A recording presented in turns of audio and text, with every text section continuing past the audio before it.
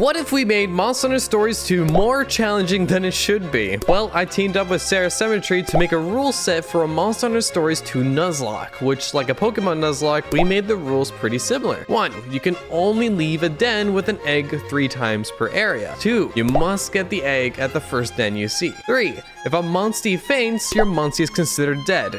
4. If you pick up a duplicate, it does not count and can be released and used for gene fuel. Once you have your 3 eggs from an area, you can no longer go into any non-sub quest ends. 6. If your hunter faints, the Monstie that is currently out with you is released, regardless if it painted or not. 7. Ratha stays in the party. If dead, just don't use it. 8. If you wish to take on the royal monster, you can use their eggs as a freebie. And 9.